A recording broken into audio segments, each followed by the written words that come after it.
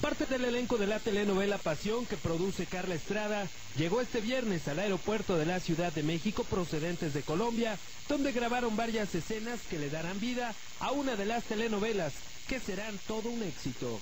Fuimos básicamente a Cartagena y en Cartagena, bueno, recorrimos toda Cartagena, tanto sus mares como su ciudad.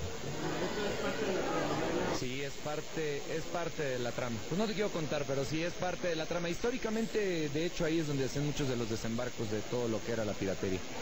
Susana González llegó muy contenta y con ganas de ver a su pareja Eduardo Santa Marina, a quien dijo le trajo varios regalitos. La protagonista dijo que fue un trabajo duro de largas jornadas, pero que está segura que a todo el público le impactará. Fue muy buena, hubieron muchas muchas aventuras y cosas. Híjole, encallamos como dos veces en, los sí, no, no, no. Este, estábamos en un en un eh, barco como de la época, así que es el barco donde va Ricardo, que es eh, Fernando, que es el pirata, y bueno, encallamos. Entonces ya sabes, bueno, todos a la popa y, todo el mundo así, ¿qué, es la popa, no?